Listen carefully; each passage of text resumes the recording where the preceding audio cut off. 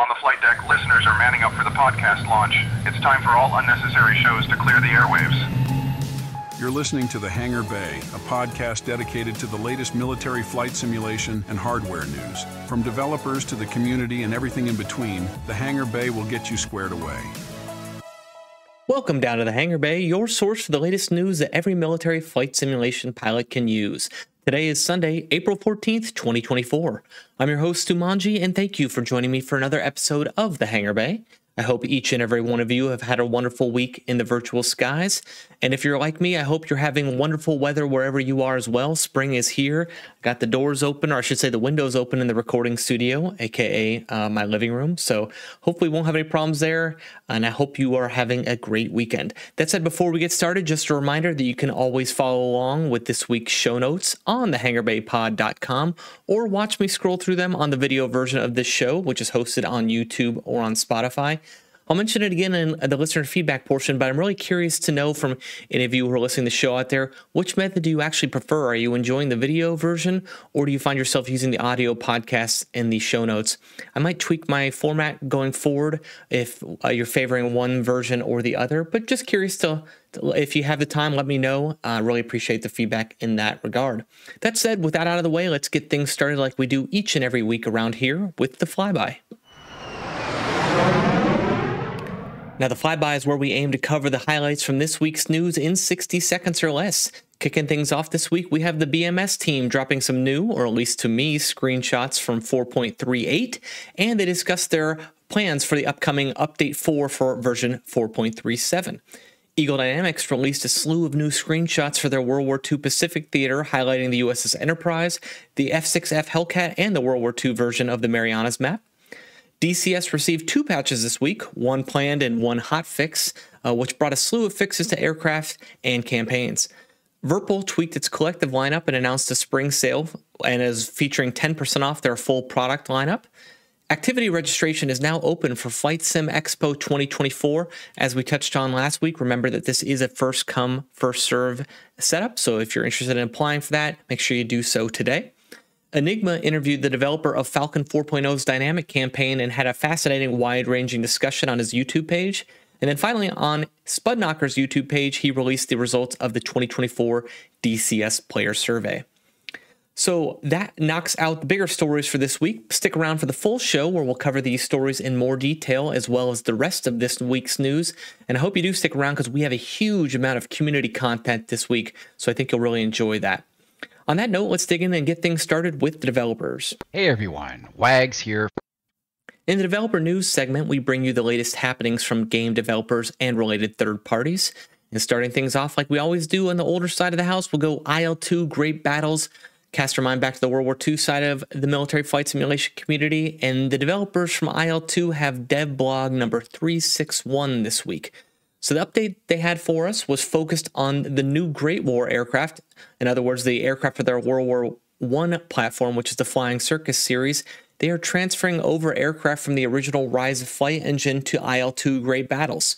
So if you're interested in that segment of uh, the community are interested in that product. They said they're making improvements to the model and texture, as well as improving the systems and the flight modeling of these aircraft. They had a couple of screenshots of the new aircraft in action on the developer blog, and the aircraft they specifically referenced were the Sopwith Pup, the Airco DH2, and the Albatros D3.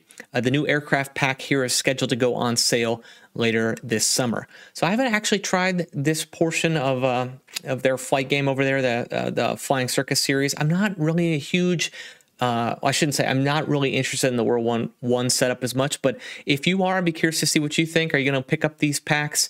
Um, I'm always curious about how many people fly in this segment of uh, their setup over there in the IL2 Great Battles. That said, I'm I'm really happy it exists, and I'm happy to see they're continuing to develop it. Shifting things forward a little bit to the modern time frame, we'll talk about BMS. As I mentioned in the flyby, this was a patch, uh, a post, I should say, that actually happened a couple weeks ago. It was originally posted on March 21st, 2024, over on the official Falcon BMS forum. So you can find their website, if you didn't know, at falcon bms.com.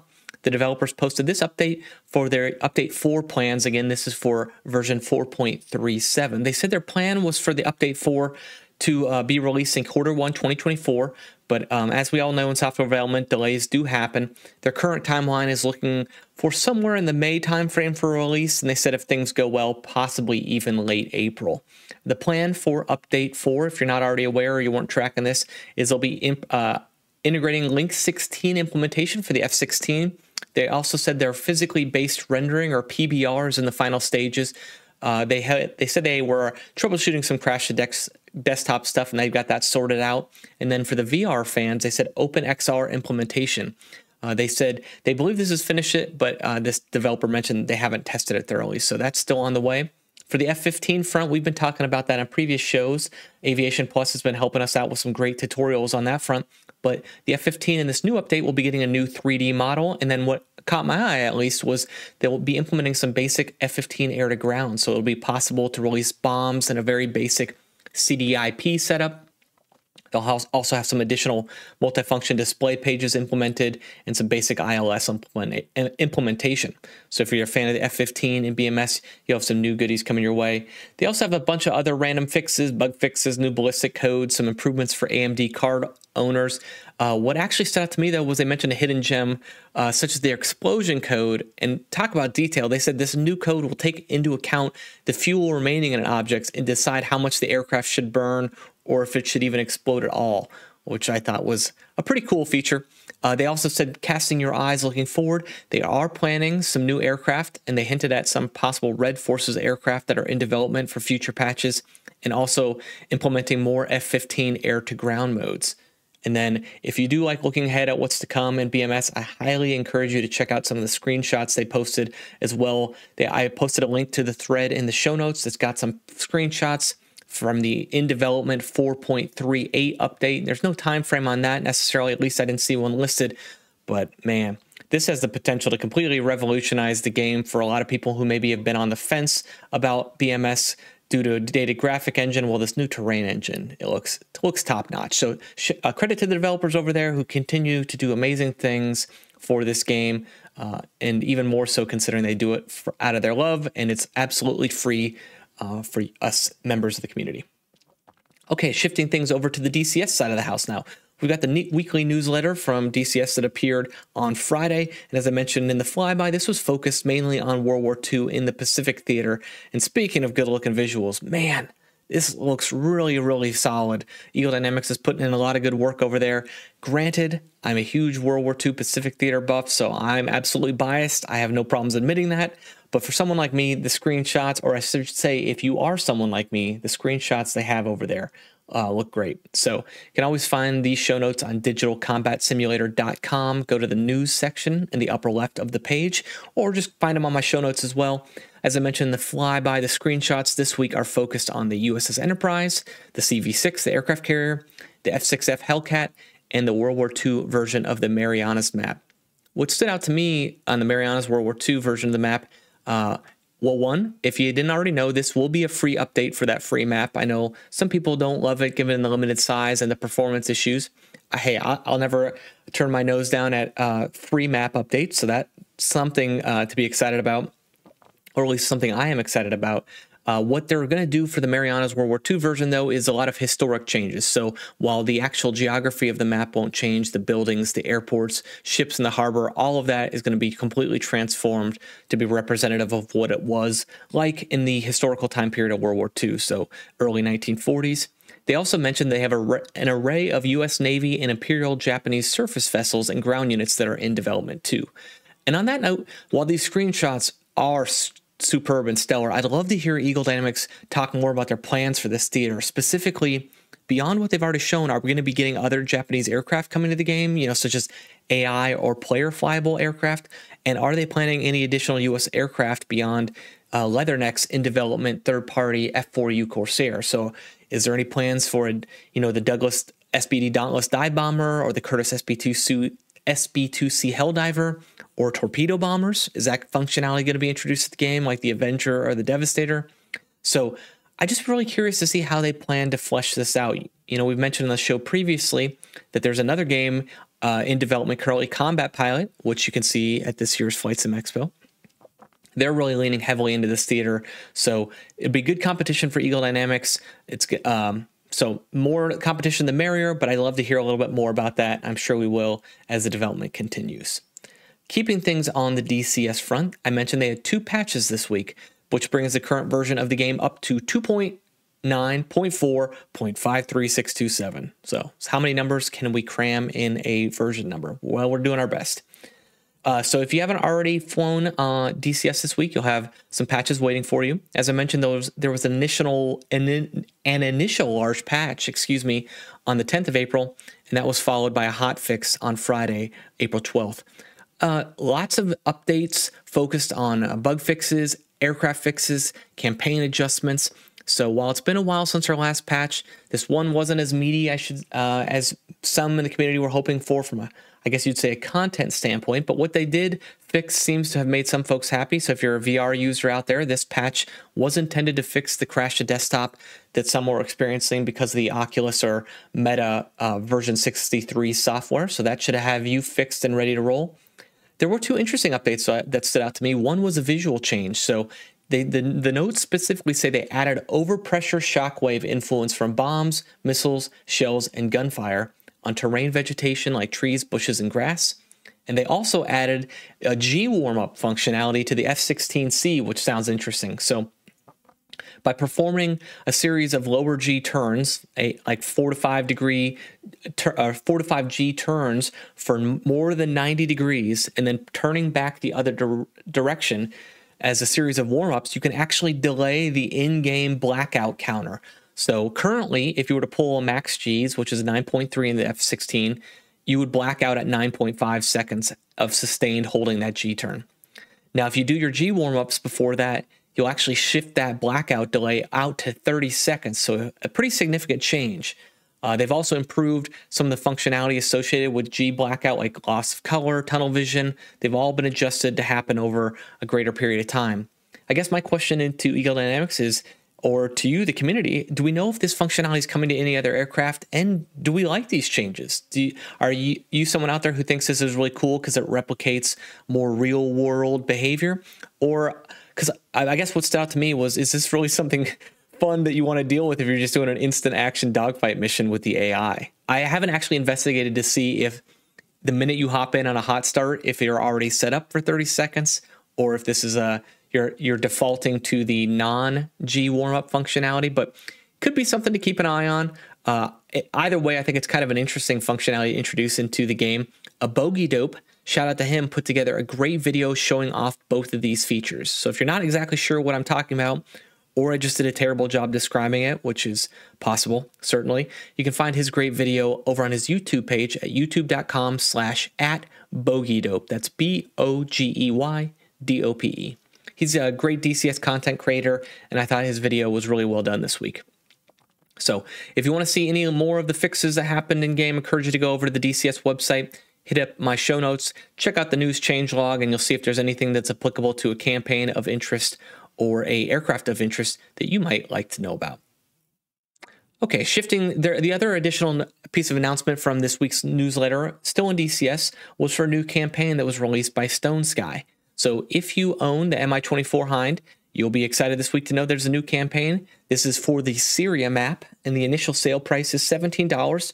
Um, and the, the, the brief write up here says it's focused on an immersive, or I should say, this is the first of a series of campaigns he's hoping to develop focused on some of the re- real combat operations within Syria over the recent years. He said this inaugural segment uh, or this initial campaign focuses on the Mi-24, guiding participants through pivotal events in Syria's liberation from terrorist forces between 2012 and 2018 as part of the Red Coalition. So, interested in some Red 4 action? There's 15 missions here, which will keep you busy flying all throughout Syria in low level uh, battles. So, uh, one sh- shout out to Stone Sky. If you weren't familiar already, he has developed a series of helicopter um, campaigns for DCS, uh, as well, uh, focusing on the KA50. He's got one for the Apache. He's got a couple uh, campaigns for the Mi8, and then a couple for the KA50 as well. He's got one for the Huey, and then he even has a JF17 campaign. So he's a well known campaign developer. Some of the screenshots look really great. If you're interested in that content, I encourage you to check it out. And if you do, be sure to let me know. Uh, feature your comments on the show. Always love to hear people's feedback on some of the latest additions to the game as well. So that wraps things up from the official developers and third parties. Let's shift it over to the hardware news. Flight controls. Flight controls. If you can move it, toggle it, push it, or rotate it, hardware news is where we're going to talk about it. And kicking things off for us on the hardware news segment, we got Virpil back yet again with another sale. So they're really rewarding customers this lately with a lot of opportunities to sale on their great series of products. Uh, I have several of them, uh, and one of one of my favorites that I'm going to talk about is the Collective. If you were interested in picking up a Collective through Virpil, they've actually updated their Collective products and with an announcement this week. Uh, the counterbalance kit, what we've talked about on the show before, which was is available separately for existing collective owners at a $35, is now part of the base rotor product. So I I phrase that poorly. I should say is now part of the standard rotor base product. So if you want on the fence of whether or not you want a collective or not, if you purchase one moving forward, the counterbalance kit will come pre-installed for you, and they've also made an upgrade to their cams to make it easier for you to swap between the various uh, limiter ranges. So you can shift between 30 degrees, 40 degrees, and 50 degrees. The new cam will set up to make that a little bit easier for you to swap between the setups. And if you're looking to make this purchase or any others, if you check out on Virpil, use code SPRING10. That will save you 10% off your order. And it looks like that sale will be running through the end of April. So always nice to have a sale if you're looking for any new hardware purchases. And Virpil has got you covered on that front this week. Okay, so that wraps up the hardware portion. Don't have a whole lot this week. Hopefully, have a little bit more for you next week. In the meantime, let's transition to the portion of the show where we highlight the work of people just like you the community. Really uh, not tracking uh, what they're doing exactly. And as I mentioned after the flyby, we have a ton of community news this week, which is always great to see. It means a lot of folks are doing great things uh, in the flight sim community. Kicking things off this week, we've got the Flight Sim Association back with some news about Flight Sim Expo 2024. As I mentioned in the flyby, registration for activities has opened today. So if you're looking to get your hands on one of those and get signed up for this uh, the upcoming Flight Sim Expo in June. Head on over to their website. That's flightsimexpo.com. Register and remember it's first come, first serve. So get your name on there. And as a reminder, shout out to Flight Sim Expo. They are one of the world's largest flight sim conventions. And they'll be hosting the convention this year in Las Vegas in June. If you want to know more about them, I already mentioned the website, flightsimexpo.com. It's run by the Flight Sim Association. You can learn more about them at flightsimassociation.com. And I, I, want to try to keep a running list of all the community members and military flight sim developers that will be there. So if you are one of those, and I have not, I will not I'm not going to feature you on this list. Please let me know so I can get you added. As of right now, now I should say those I've confirmed to be in attendance include Stormbird's blog, Aviation Plus, DD Drake, D Drake 1989, who's from the HOTAS and Discord and subreddit. Helisimmer.com will be there, along with Virpil, Winwing, Combat Pilot, SimFab, and others. So it looks to be a great attendance. This has been a traditionally more of a civilian flight sim conference in the last few years, but they're expanding their military flight sim reach. And the more members we get from the side of the house, the more that'll help them propel to continue to do that moving forward. I think it looks like a great event. And remember, you can always attend virtually online if you don't attend in person. Okay, continuing at the community front, we have Enigma who's back with really cool interview this week. He interviewed Kevin Klemmick, the original developer for the Falcon 4.0 campaign. So shout out to Enigma for this really creative interview. What a fantastic guest to get. And it really led to a great series of topics uh, covered. Enigma always does such a good job with his interviews. I feel covering some really unique questions, having a broad range of topics. Um, this interview in particular included topics such as what would Kevin have done differently if he could design the campaign over starting today? Why hasn't the Falcon 4 campaign been replicated by other developers? What exactly happened with Microprose at the end there and led to their demise? Although they're back now, shout out to you, Microprose. Great to see you developing once again. Uh, and then finally, had an interesting discussion on realism versus fun in flight sims. So I really encourage you to check out that interview. Uh, and if you didn't already see the forum post for uh, Falcon BMS 4.38. In the video for uh, Enigma here, the interview, he just rotates through those beautiful screenshots, so you'll you'll get them here. You can find uh, Enigma over on his YouTube page, linked to on the show notes here on the hangarbaypod.com. Okay, shifting things over a little bit. I guess I could have put this on the hardware side of the house, but since it's a community member, I kept it here. I want to talk a little bit about the Stream Deck VJoy plug. So if you own an Elgato Stream Deck, and if you don't, highly encourage you to check it out. It's probably one of the most robust button boxes you can have for your flight sim needs. Uh, a user here enabled VJoy, uh, created a plugin that su- supports VJoy. So if you're not familiar with VJoy, it stands for Virtual Joystick. It's essentially a utility or piece of software that allows you to make keyboard inputs and translate them to joystick inputs. So, in other words, you can create a virtual joystick when you don't actually have one. So, what's the benefit of that? Well, when you go into a game like DCS or IL2, Fractal BMS, it shows up as a virtual flight controller. So, you can actually bind to it rather than having to bind your Elgato software to a specific keyboard macro. Now, why is that beneficial? Well, uh, VJoy buttons have the benefit of working in game while in the background you might be out tab doing something else. It can support uh, multiple button presses at once. You can use the buttons while entering text in game, so like chat. Uh, and it also allows uh, compatibility with things such as joystick gremlin or having duplicate bindings. Personally, as I mentioned, I think the cool feature is essentially turning your Stream Deck into a fully functional button box. So this supports our VJoy support allows you to have up to 128 buttons on any one device. Uh, you can also have simple buttons. You can have toggle switches. You can use your buttons to serve as axes up and down or sliders. Probably the biggest thing for me as someone who owns one of the Stream Deck Pluses is I can now get control over axes uh, with, with my rotational dials on the front. That's been something that's been holding me back. Maybe I'm not technical enough to have figured out how to do it correctly. Either way, lots of functionality here. Yeah, so if you are an Elgato Stream Deck user, I encourage you to go check this out. It's Stream Deck VJoy Warlock with a slightly different spelling. Just find it on my show notes. It'll take you over there. It might propel your Elgato Stream Deck functionality to the next level if you're looking to do something on that front. All right. So now we got a series of DCS community updates, quite a few of them, and we'll get started with DCS Liberation, which updated to version 11 this week. The biggest takeaway if you are a DCS Liberation flyer is that saves from version 10 are no longer compatible. So make sure you get, if and when you update, you keep that in mind. Uh, if you're new to do a DCS Liberation or have already used it before, it's essentially like a little mini dynamic campaign for you that you can generate uh, missions to fly with yourself or with your friends.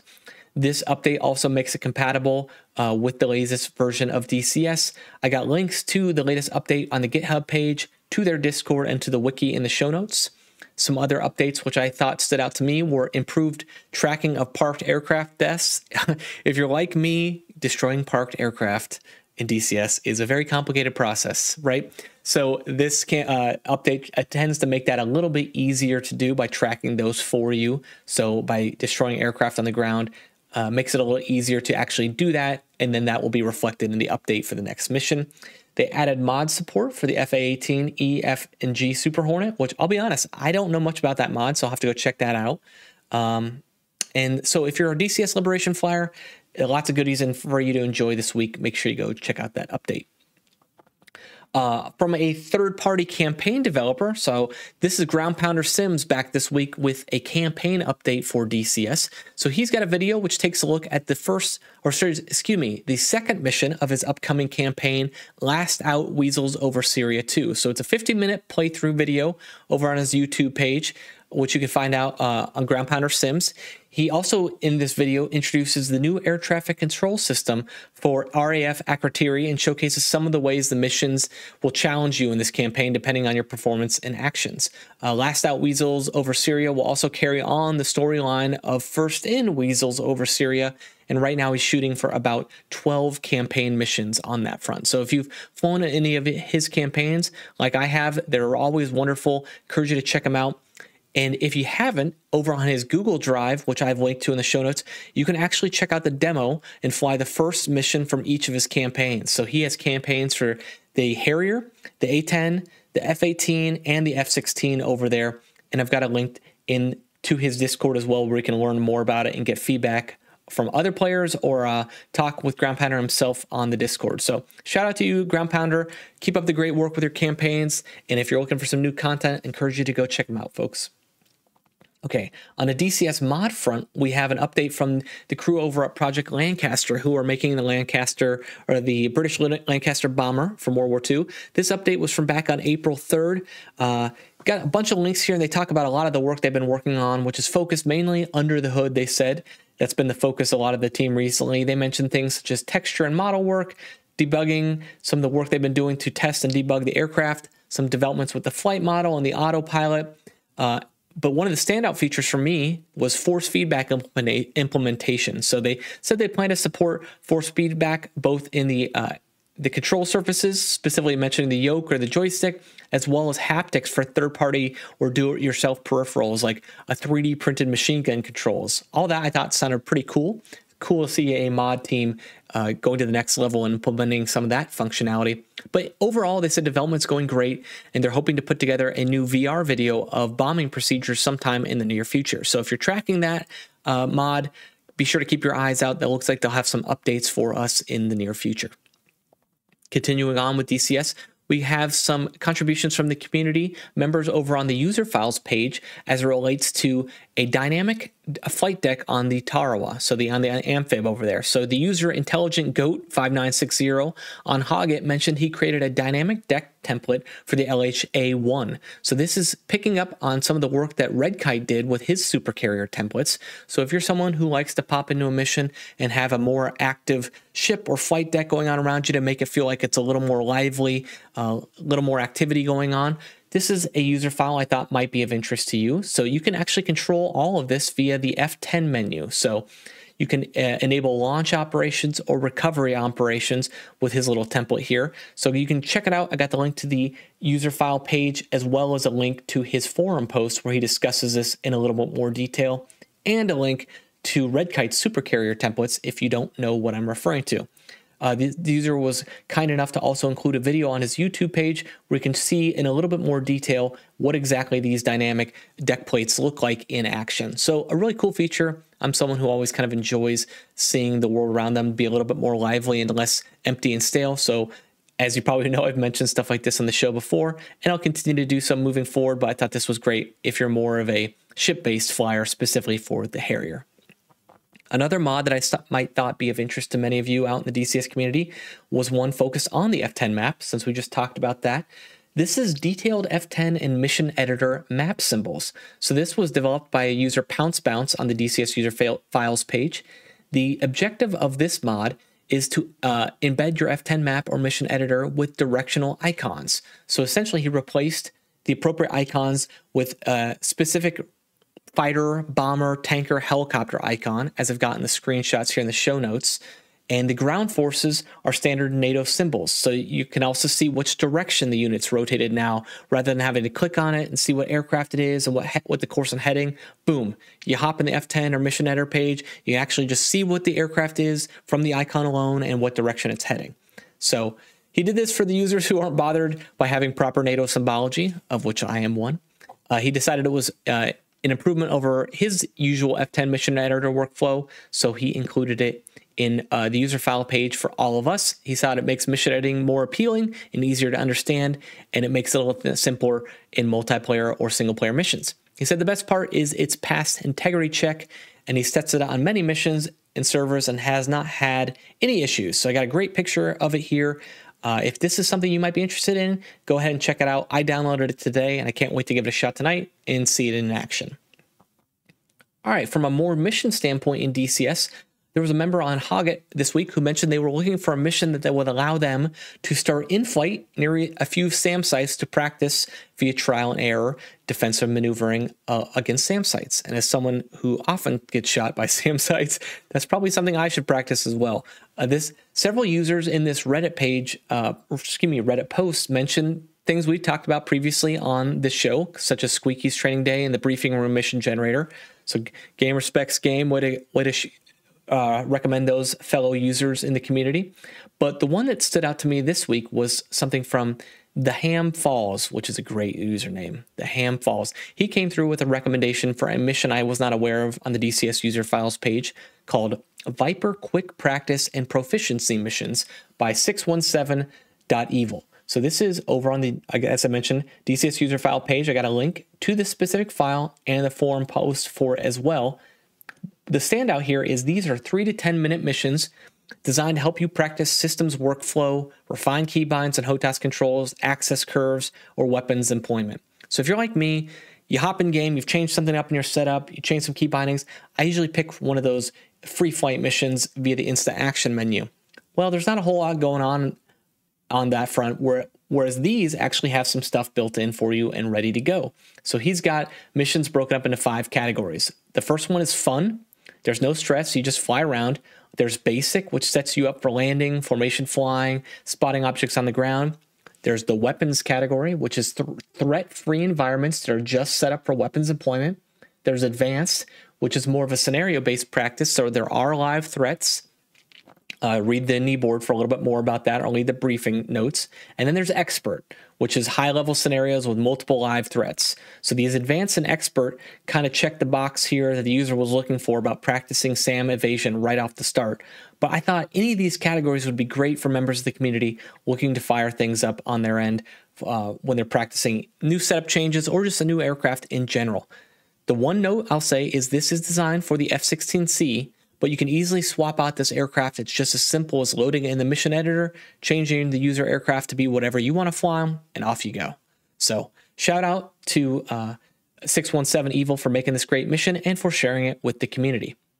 Speaking of mission editing, we've got Skyward FM, so Skyward Flight Media, put together another entry in their mission editor series, and it was very timely as their topic of conversation was making SAM sites the easy way. So they had an inter, uh, continuing, I said, their mission editor series. This article provided alternatives to the standard practice of just deploying SAM sites in the mission editor via the default templates, you know, the drag and drop method you can normally do.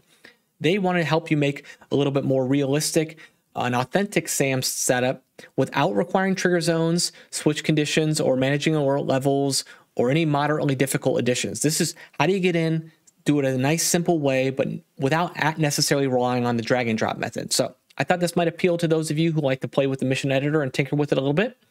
And on that note, this is uh, like I said, the fifth DCS mission editor article in their series. I've got a link to that as well. You can find them on their website, skywardfm.com. This includes that Syria coin mission we highlighted back in episode five, of the February 17th version of the show. That's also something I highly recommend you check out.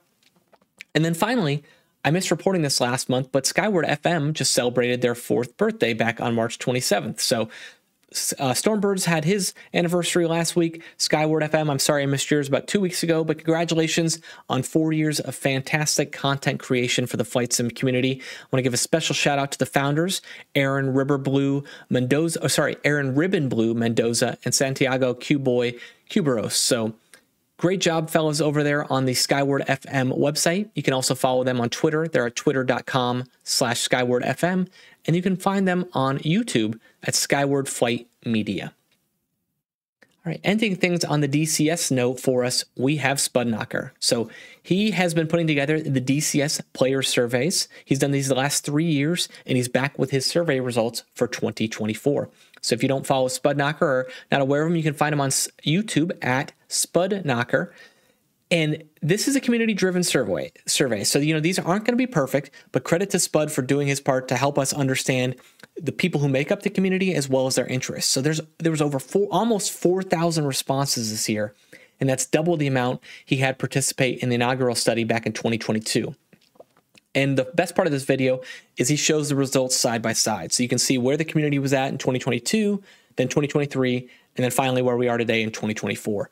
So I started compiling some interesting takeaways, and then I realized I think I did about half the survey. So uh, if you're interested in the TLDR, I've got it for you here. It's about an hour long video, and Spud goes through each of the questions in detail, talking about demographics, hardware setup, player interests. I'm mainly going to focus on uh, the player interest and hardware setup. But uh, we'll, we'll, let's roll through a few of these, and hopefully you'll find them as interesting as I do. The first thing was how do you learn about DCS? I probably shouldn't have been surprised by this considering it was a YouTube video after all, but 90% of the community, or I should say players surveyed, said they learn about DCS through YouTube. 60% of you said you learned through community manuals, and 44% said you actually learned through the official manual. So, shout out to Chuck's Guide. You are more popular than the official manual.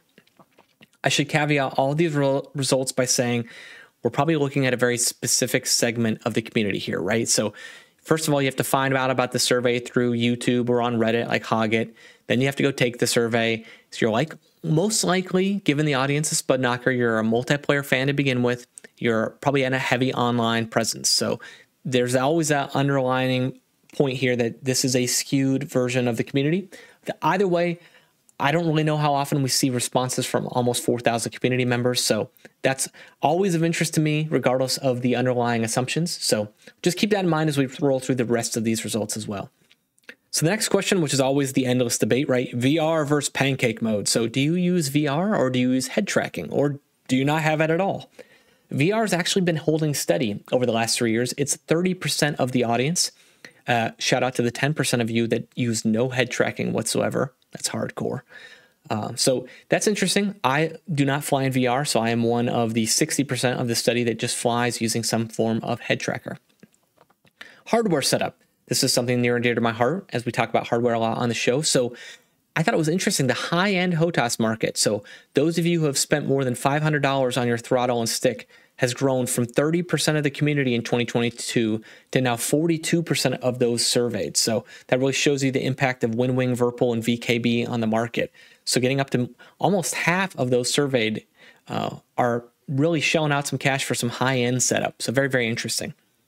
Maps that you own. So these these numbers are remarkably steady uh, over the course of the last three years of the study. So 88% of players surveyed own Syria, 84% own Persian Gulf, 60% own the NTTR, 50% own Sinai, and then just 40% own Normandy 2.0, with the South Atlantic and the Channel map uh, garnering just 34% of the community. The takeaway there, too, for me was there's been virtually no growth between uh, over the last year, year on year for South Atlantic or the Channel. So, just interesting uh, perspective. I'm really curious to see where Afghanistan will fall when we do this survey next year, or I should say, when Spud does it next year. Okay, maps you want more content for. This was particularly interesting to me. No map gained more than 24% of the vote, and five maps each had 10% more of the vote. So, my takeaway there is players are pretty evenly split about where they'd like content creators to prioritize their map for the next development. So, despite Syria leading the way with 88%, which, man, that is an incredible number of those surveyed, users are actually pretty split on where they would like uh, campaign creators to develop their time moving forward. And I think I probably fall into that segment as well. Even though I own Syria and I feel like I fly it the most, uh, I'm pretty equal about where uh, a map or campaign would develop next. So uh, interesting. Aircraft you own. I bet some of you will not be surprised to know that the US based aircraft here dominate the market. 80, a whopping 84% said that they own the F 18C. 72% said they own F 16C. And then Flaming Cliffs 3 comes in next at 64%.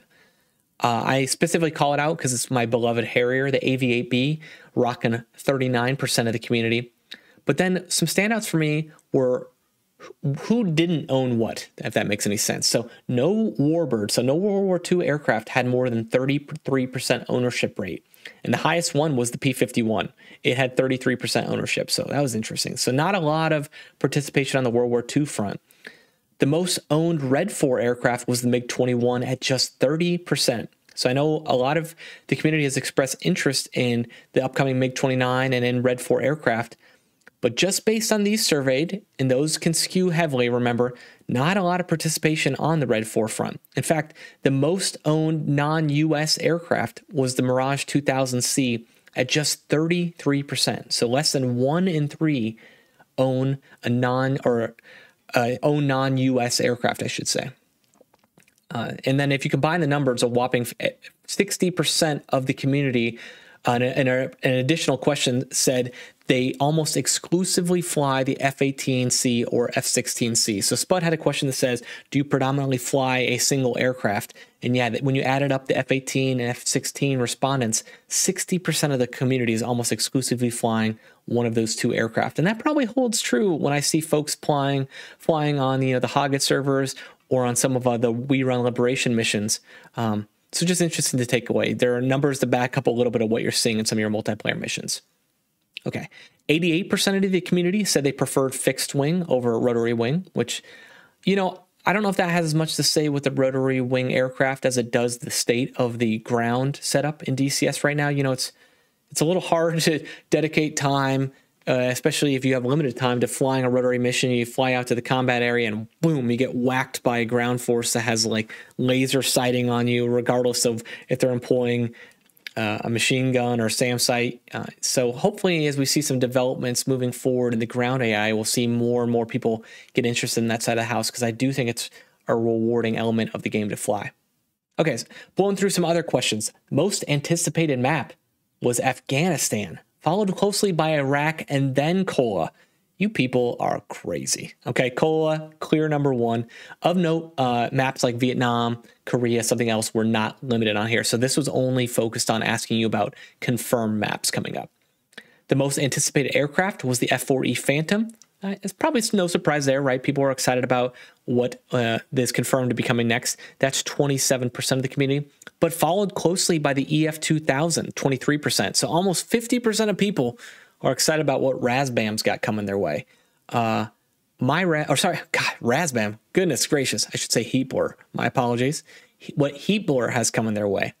Although I'll say my Heatblur love is for the A6E. I was one of the five percent who said the Intruder is the aircraft they're most looking forward to.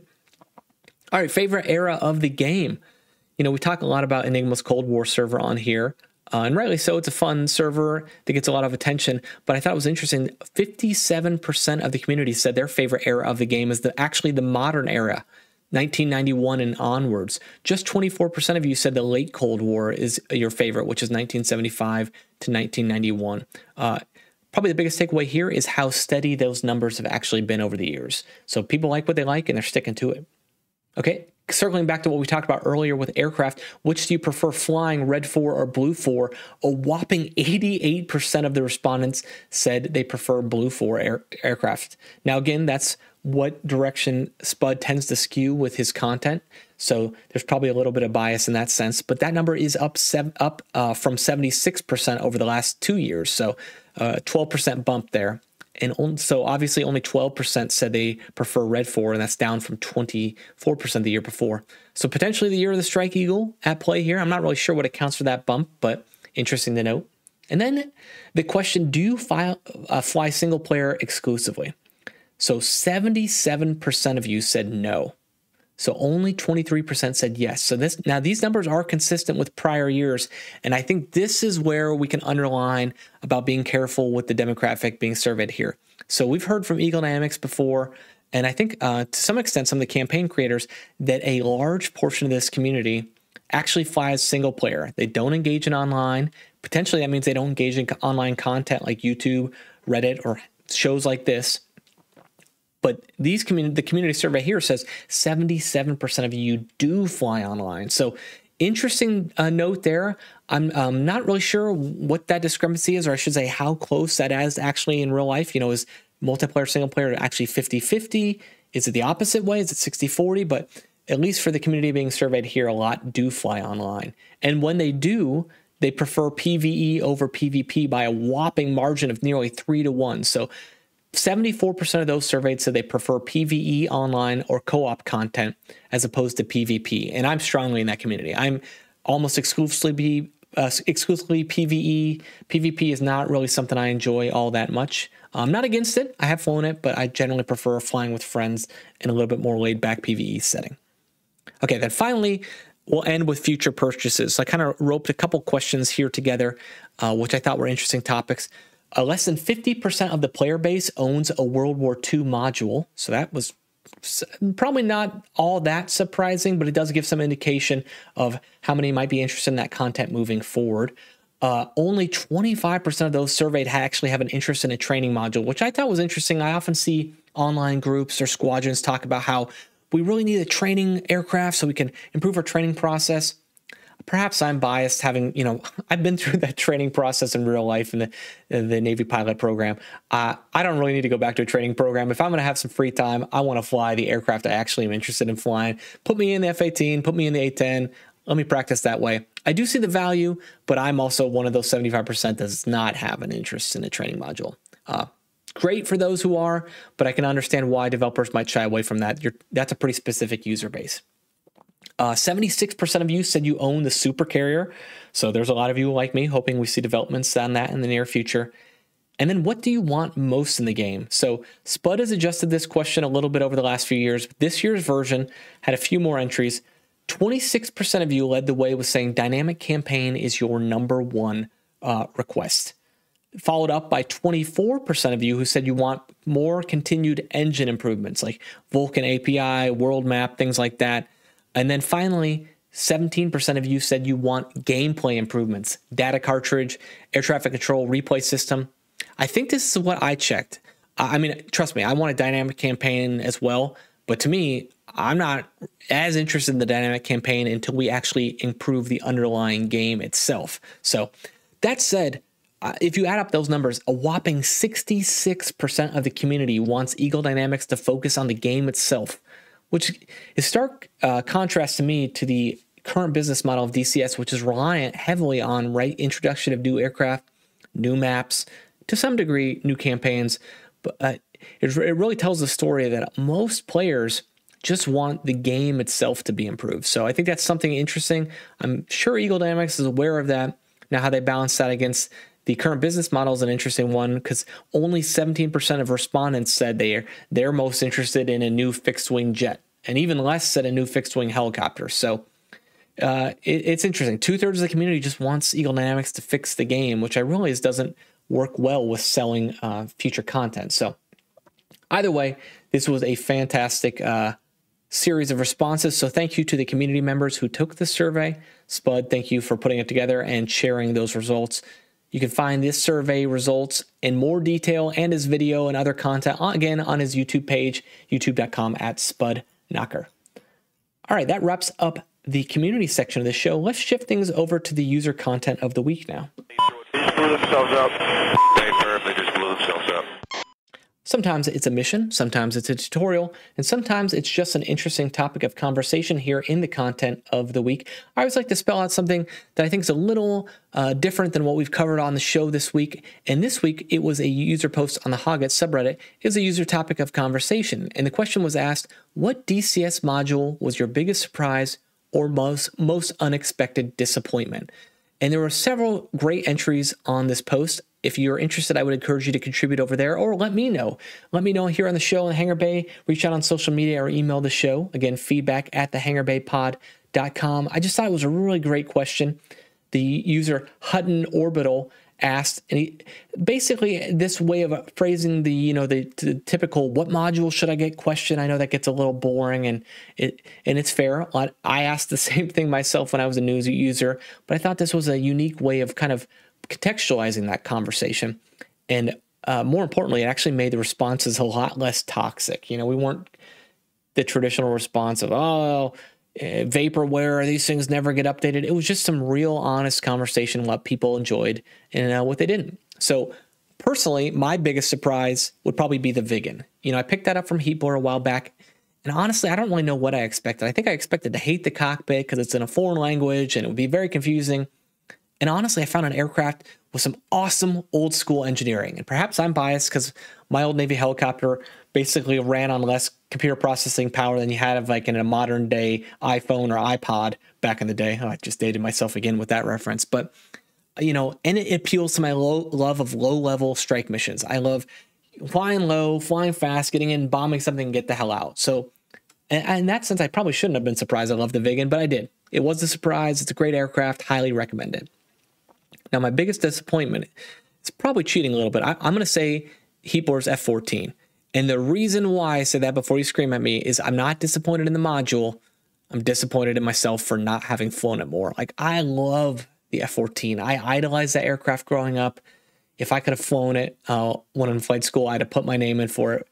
But for some reason, it's come out from Heatblur, and I don't know if I've been distracted by other aircraft or whatnot, or just the raw difficulty of that aircraft. There's a steep learning curve, right? But for whatever reason, I haven't, I flew it a lot. Maybe the first few hours I purchased it and I haven't been back in. So I'm disappointed in myself for not flying it. I need to get back to it. But what about you? What's your biggest surprise? What's your biggest disappointment? Let me know. I just think this is a really interesting topic of conversation. So credit to Hutton Orbital for bringing it up. I did want to give a shout out to one user post though, uh, Fobbit outside the wire. He said his most pleasant surprise, or I should say, they said their most pleasant surprise has been the quality of the free community mods that they either use or they're aware of, specifically referencing the UH-60, so the Blackhawk helicopter, which they said they fly all the time on Gray Flag, the C-130 Hercules, or the A4 mod. And to which I say, yeah, great, great post, uh, Fobbit. Uh, what a wonderful recommendation. I couldn't agree more. There really are some outstanding mods for DCS. And I, I know we featured the UH60 and the A4 a little bit on this show, and we'll probably talk about talk a little bit more about the C130 as it's shifting from a, user mod over to a full fidelity module you can purchase in DCS. But that's a great shout. So the community members doing great things, and they always deserve the attention uh, from shows like this. So again, r- reminder: if you have any feedback, I'd love to hear what you think. Uh, know more about what you value from a module standpoint in DCS. Okay, so that wraps things up for the user content of the week. Let's shift it over to the SimPit Spotlight. You don't see any big stream of flames or smoke coming out, you? So, in SimPit Spotlight, it is time for my favorite portion of the show where we highlight a community member's personal setup, no matter how simple or complex, to celebrate the joy of flying from home. And this week, we have a post on the HOTAS subreddit from Scorpio, Scorpiux, S C O R P I U X. He has a hybrid cockpit, uh, and it's got some great setups here with a variety of hardware from different manufacturers. And if you want buttons, I tell you what, Scorpiux has all the buttons. We have not one, we have not two, we have not three, we have four control panels from Virpil. We have the multi-purpose UFC. We have not one, but two, but three Elgato Stream Decks. I can't sit in judgment because I may or may not have the same number. And then we also have the fantastic control, or excuse me, you uh, MFDs from Total Controls for the Apache. Uh, I have those myself. Great piece of hardware. He's also got Virpil's Collective with the uh, um, excuse me, with the Hawk 60 grip. He also has the Thrustmaster TPR pedals. And then finally, the VKB Ultimate grip on the Gunfighter base, topped off with TrackIR. He does not use VR, he uses head tracking, uh, Scorpiux, after my own heart here. So many similarities in our setup, but he just looks really nice and clean. A shout out to you, and a shout out to building your own cockpit. So he actually built his out of uh, customized T slot aluminum that he had custom built and shipped to him. So pretty similar in my setup as well. And then he just rolls in with a nice looking uh, gaming office chair here, and looks like a nice little TV monitor setup. So really nice and clean. I got some pictures in the show notes and a link to the Reddit post over on the HOTAS subreddit. So Thank you so much, uh, Scorpiux, for sharing your setup with us. And it looks great. Hope you continue to have wonderful adventures in that setup. So if you if there's any news, community content, or if you want to give a shout out and help us shine the spotlight on someone's SimPit setup, be sure to get in touch with the show via email. Again, once again, that's feedback at thehangarbaypod.com or via social media at the Hangar Bay Pod on Twitter or Instagram. It always helps me shine a light on the great things going on in the community. And that's where we get to the listener feedback portion of the show. 612 departure radio check. Just want to remind you, you can always leave voice message for the show on Spotify or post comments in the YouTube page. They're always greatly appreciated. Always nice to know what you folks like and what you don't like about the show and what you like to feature in future weeks to come. That said, this concludes another episode of The Hangar Bay. Thank you so much for listening to this week's episode. We'll be back next weekend, as we always do here, to get you squared away with the latest military flight simulation and hardware news. And until then, think about what you put out into the community and make it a better place. Fly safe, everyone. Right here. Let's go down low on the decks. Unload 500 knots. Let's get out of here. The missile knows where it is at all times. Oh, I'm sorry. What I meant to say is that you can find the video show on YouTube or on Spotify at the Hangar Bay Pod. The audio show is available on all major podcast providers. You can contact the show via email, feedback at thehangarbaypod.com, or on Instagram and Twitter at the Hangar Bay Pod. Show notes and links to everything discussed on this week's show are available at thehangarbaypod.com. It takes a lot more than just fancy flying.